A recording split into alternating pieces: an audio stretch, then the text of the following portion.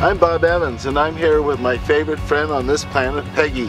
And Peggy put GasPods on her car because she wanted to make a difference with her driving and the amount of CO2 she was putting in the atmosphere for her whales and her dolphins. And tell everybody in the world about your project, Peggy. Hi, I'm Peggy Oki and I'm founder and director of the Origami Whales Project.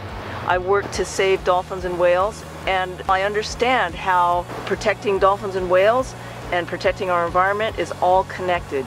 The use of fossil fuels on this planet has had a massive, undeniable impact. And so I'm wanting to do everything I can to reduce my impact. And it's something that is as simple as the GasPods that can make this difference.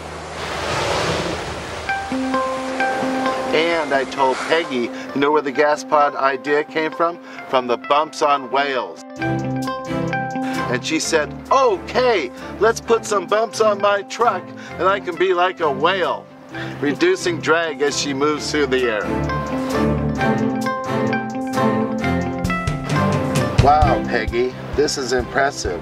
You've saved over 100 gallons of gas in your driving and roughly 2,400 pounds of CO2 not going into the atmosphere. That's right. It's really amazing. Something as simple and easy and economical as GasPods, saving that much. One car, one person, we can all make a difference and that's what we're here for. And thank you Peggy for all the environmental work that you've been doing all these years. And thank you, Bob, for all the environmental work you're making with the GasPods. And if you see somebody go by fast on a skateboard, it's probably Peggy.